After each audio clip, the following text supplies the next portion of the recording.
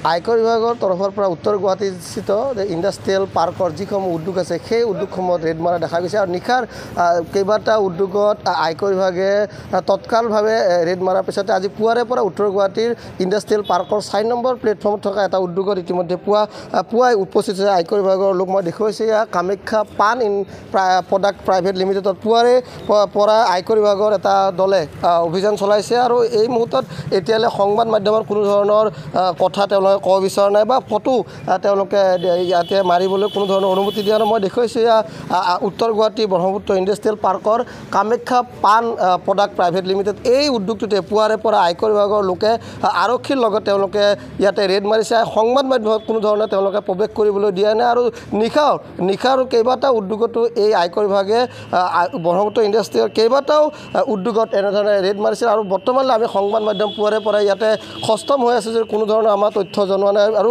মই দেখুৱাইছোঁ পুনৰবাৰ এনেধৰণে কেইবাখনো গাড়ীত ইয়াতে আয়কৰ বিভাগৰ লোক আহিছে আৰু তেওঁৰ লগতে আৰক্ষীও আছে। আৰু কি কাৰণত ইয়াতে এই উদ্যোগটোত ৰেড মাৰিছে এতিয়ালৈ আমি সংবাদ মাধ্যমে গম পোৱা নাই। যোৱা নিশাও এই ব্ৰহ্মপুত্ৰ ইণ্ডাষ্ট্ৰিৰ ভিতৰত থকা কেইবাটাও উদ্যোগৰ ভিতৰত ৰেড মাৰিছে। আমি ইতিমধ্যে আমি গম পাইছোঁ যে এই উদ্যোগসমূহৰ ভিতৰত আয়কৰ বিভাগৰ বিভিন্ন ধৰণৰ নথি পত্ৰী চোৱাৰ কাৰণে হয়তো তেওঁলোকে এই ৰেড মাৰিছে। আৰু মই দেখুৱাইছে উদ্যোগটোৰ ভিতৰত এই সংবাদ মাধ্যমক অনু- অনুমতি দিয়া নাই। আৰু তৎক্ষণতে কিন্তু আমি বাতৰি প্ৰচাৰ কৰিছোঁ। আহিব আয়কৰ বিভাগৰ যি আহ, মাৰিছে এই ৰেডত মই দেখুৱাইছোঁ plot number forty one oblique F. এই উদ্যোগটোতে পুৱাৰে পৰা আয়কৰ বিভাগে তেওঁলোকে কি কাৰণত ভিতৰলৈ সোমাইছে বা কি কাৰণে এনেধৰণে দৰ্জা বন্ধ কৰি তেওঁলোকে ইয়াতে ৰেড মাৰিছে এই মুহূৰ্তত ক'ব পৰা নাই। কিন্তু এটা কথা ক'ব পাৰে যে পূৰ্বতেও কিন্তু ইণ্ডাষ্ট্ৰিয়েল পাৰ্কত বহুকেইটা উদ্যোগত এনেধৰণে আয়কৰ বিভাগে ৰেড মৰা দেখা গৈছিল। আৰু আমি এই এইটো কথাই স্পষ্ট ক'ব বিচাৰোঁ যে বিভিন্ন ধৰণৰ নথি পত্ৰৰ কিবা খেলি মেলি আছে।